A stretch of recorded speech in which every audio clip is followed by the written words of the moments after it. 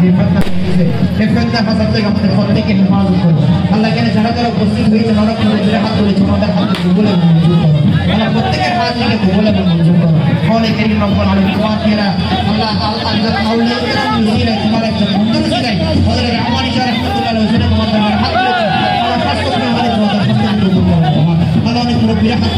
তোমাদের হাতের মধ্যে আমাদের প্রত্যেকের দান